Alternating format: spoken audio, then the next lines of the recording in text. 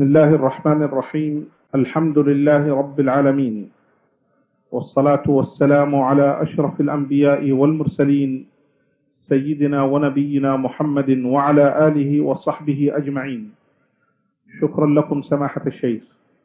بارك الله فيكم ونفع بعلمكم وجزاكم الله عنا وعن المسلمين خير الجزاء. يقول السائل من أراد أن يؤدي العمرة وقد قدم من القصيم عن طريق المدينة المنورة ثم ذهب إلى ينبع. هل يجوز له عند رجوعه من ينبع أن يحرم من ميقات الجحفة؟ لا.